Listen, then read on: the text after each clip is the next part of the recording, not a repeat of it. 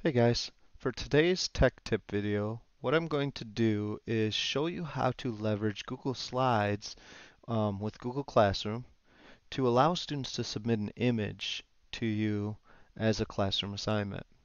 This is especially helpful for our remote learning. If you have a student doing paper pencil assignments, they can submit those. Or if you just want them to send you a picture of a craft that they've created, um, this works especially well for that.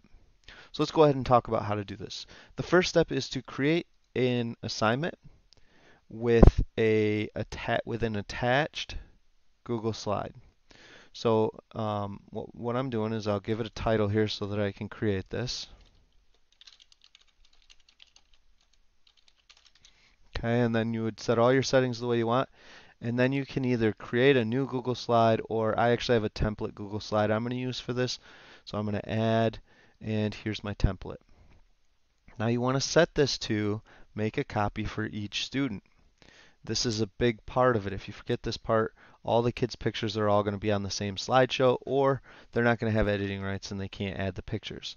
Um, it may be that you want them. You know, I, I was working with an art teacher who had a great idea of doing an art gallery where the students working on their art projects could take a picture of their art project add it to the slide with their name on it, and then they can all look at each other's artwork and add little comments or something. So there's a lot of ways you could utilize this.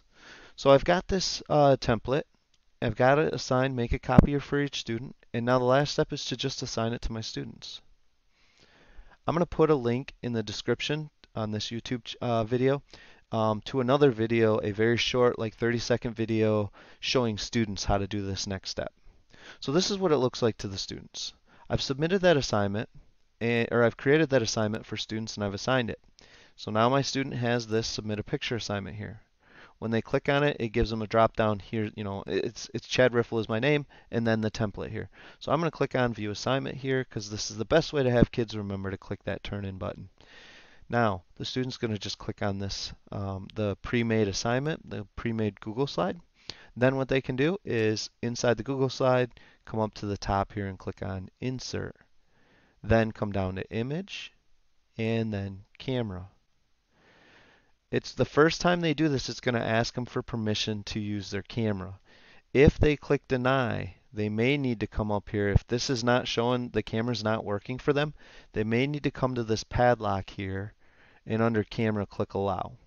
So that might be a step they need to take there. Okay, so now I got my camera up. Let's pretend this assignment was take a picture of a book you're reading and send that in and submit that. So I got my book here. I click the capture button. Now it gives me an example over here. And maybe I want to take two pictures, one with it upside down. Now I can pick the image that I like the best and I can click insert. It inserts the image. I can uh, make it bigger, make it fit in the space for my template here and you can see it may be that my template was a little too ambitious with the size. There we go. Okay, so I got my picture in there and I can type in, double click where it says add title of your book here and type in the title. So I could type the whole title in there. Then the student's going to need to remember this last step, which is to come back to the assignment in Google Classroom it's now all updated for them and they can click turn in. You can see here that it's going to say last chance. Yes, I want to turn it in. And the student has, that's it. That's all they need to do. What does that look like for the teacher? Well, if I come back to my teacher account here and I click on view assignment for the submit a picture that I did here, I can see, I'll see here all of my students and all the uh, assignments that they've worked on. This hasn't updated yet um, because he just submitted it, but if I click on it, I can see inside, there's the picture. So this is the easiest way for students to take use their Chromebooks or whatever device they're using and submit a picture to you. All right, again, there's going to be a in the description below a link to another video, and that video will be a 30 second video uh, uh, that you could link to your uh, uh, assignment showing the students how to take a picture in Google Slides and submit. Thank you very much.